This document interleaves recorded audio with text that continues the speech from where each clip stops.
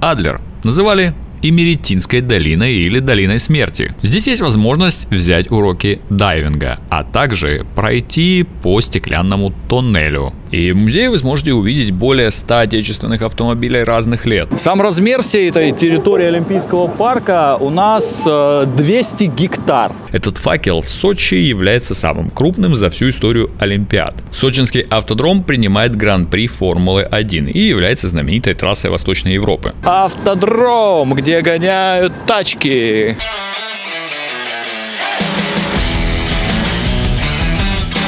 Сегодня мы посетим микрорайон в Сочи, занявший призовое место в антирейтинге блогера Ильи Варламова. И докажем, что он был неправ. Здесь находится один из самых красивых и старых маяков страны. Самый большой океанариум на Черноморском побережье и автомузей, где содержится больше сотни советских автомобилей. Главная достопримечательность – Олимпийский парк, где располагается Сочи автодром. Гоночная трасса для проведения автомобильных соревнований. Все это Адлер.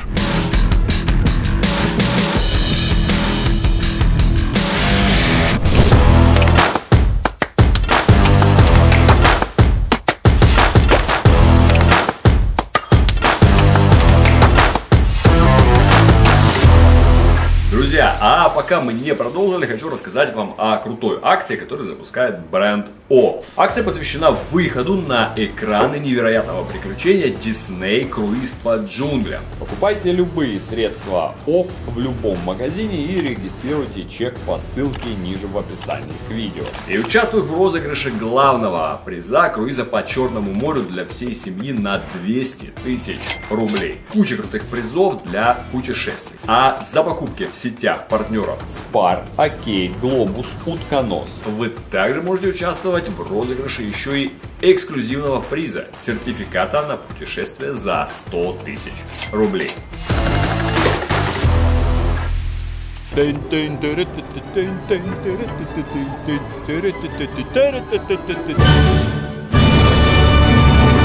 Адлер имеет богатую историю. Это было место ссылки. Сюда были направлены некоторые декабристы и люди, которые не угодили императору. Тогда Адлер называли и Меретинской долиной или долиной смерти. Связано это с тем, что жаркий и влажный местный климат был идеальной средой для малярийных комаров. Курортная же сфера начала активно развиваться, когда район был присоединен к Сочи. Адлерский маяк – одна из важных достопримечательностей. Он был построен в 1898 году и действует до сих пор. Его особенность в том, что он самый южный маяк страны, поскольку располагается в 10 километрах от границы с Абхазией. Здесь же находится и Сочи Discovery World Aquarium, океанариум на 2 этажа площадью 6 тысяч квадратных метров, и внутри в нем находится 30 аквариумов. Здесь есть возможность взять уроки дайвинга, а также пройти по стеклянному тоннелю. Конечно, Адлер известен своей гоночной трассой Формулы 1. Но если вы любите не только современные, заряженные и ревущие автомобили, советую вам также посмотреть и классические машины. Здесь находится автомузей Сочи, и в музее вы сможете увидеть более 100 отечественных автомобилей автомобилей разных лет. И, собственно говоря, сам Олимпийский парк Сочи.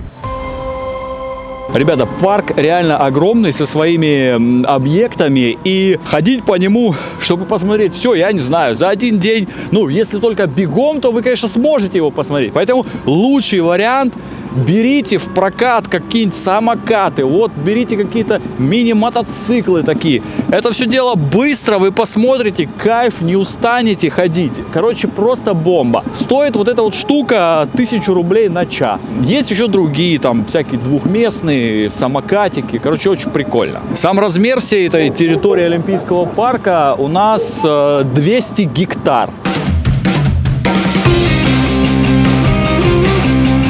На его территории располагаются основные спортивные сооружения, где проходили соревнования по разным зимним видам спорта. Самая грандиозная из них – стадион Фишт. Олимпийская деревня представляет собой 47 корпусов и рассчитана на 3000 человек. Центр парка занимает чаша Олимпийского огня. Этот факел Сочи является самым крупным за всю историю Олимпиад. Сочинский автодром принимает гран-при Формулы-1 и является знаменитой трассой Восточной Европы. Длина трассы 5848 метров, а ширина от 13 до 15 метров. Общее количество поворотов 18. Но если вам наскучат все эти громоздкие сооружения, рев моторов, то вы можете отправиться в местный дендрарий, парк южной культуры. Здесь растут более 5000 растений, в том числе и редкие экзотические виды.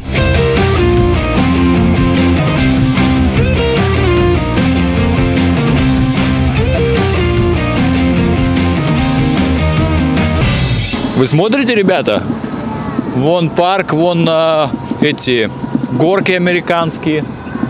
А с другой стороны у нас автодром, где гоняют тачки. О, ребята, а тут вон кухня народов мира. Можно подкрепиться. Португальская, русская, китайская кухня. И картинг вон есть даже.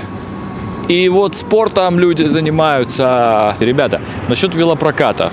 Можно подумать изначально, что велопрокат здесь где-то в одном месте. Велопрокат, самокатопрокат или вот прокат вот этих вот мотоциклов модных. Они везде.